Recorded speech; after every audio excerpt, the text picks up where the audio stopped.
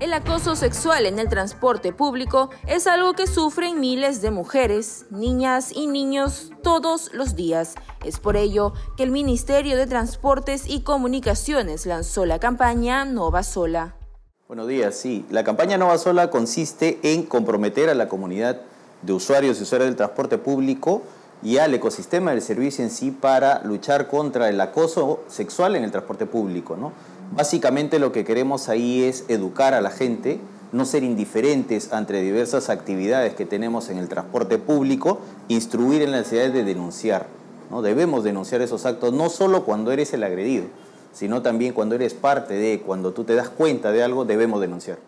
De esta manera, Caiguaray indicó que la campaña se realizará tanto en Lima, donde un 65% de personas sufren de tocamientos indebidos, 20% de acoso verbal y un 11% de miradas lascivas, y también en Trujillo, donde predominan los silbidos, miradas incómodas en un 57%, seguido de tocamientos en un 38%.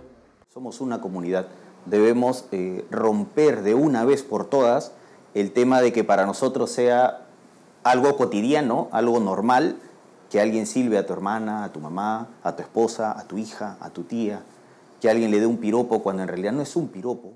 De esta manera, la campaña No va sola tiene como fin establecer las acciones para una atención inmediata de defensa de los niños, niñas y adolescentes que sufren de acoso en los transportes públicos.